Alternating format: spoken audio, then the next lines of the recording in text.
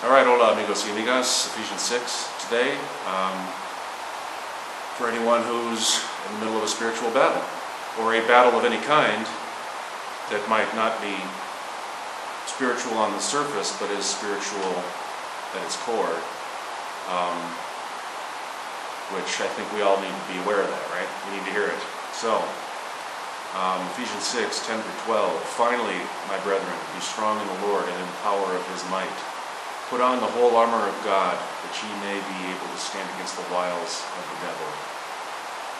For we wrestle not against flesh and blood, but against principalities, against powers, against the rulers of darkness of this world, against spiritual wickedness in high places.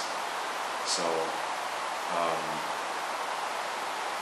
it's always it's natural to kind of go to war with the person uh, or to fight on a surface worldly level.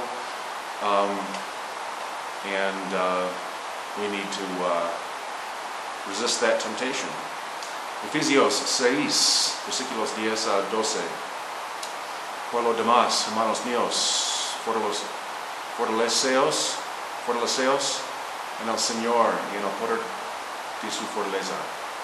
Vestidos de toda la armadura de Dios para que podáis, estar firmes contra las acechanzas, acechanzas del diablo. I'm just trying to get through the words. I've kind of hit a wall with my Spanish. I'm kind of in the middle and I don't seem to have progressed much in the last couple of few months.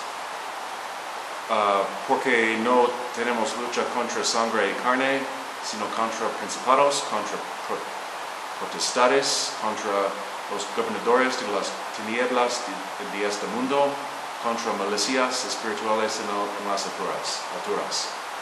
So yeah, um, spiritual wickedness in high places. Um, if that's you, if you're the one who's kind of being the channel for the dark side, um,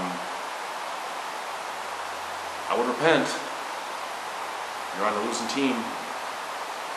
Thanks for watching. Dios te bendiga, hermanos y hermanas. Hasta luego.